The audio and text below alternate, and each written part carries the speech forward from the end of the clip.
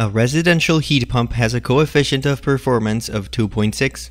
How much heating effect in BTU per hour will result when 4 horsepower is applied to this heat pump?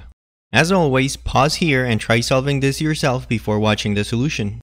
This is the second example for the refrigeration and heat pump cycles main lecture.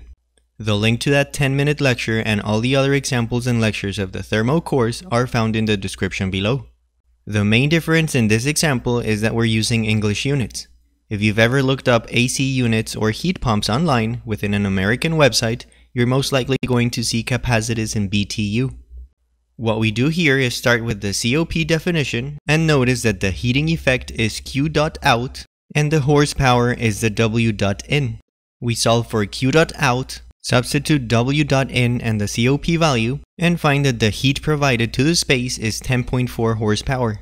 Of course, the problem specifically asks for Q dot out to be in BTU per hour. So we do a simple unit conversion knowing that 1 horsepower is equal to 2544.5 BTU per hour and find that the heat provided is 26,462.8 BTU per hour. And that's it.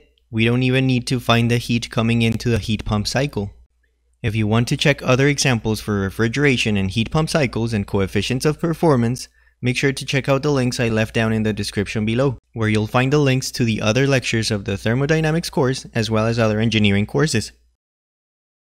Thanks for watching.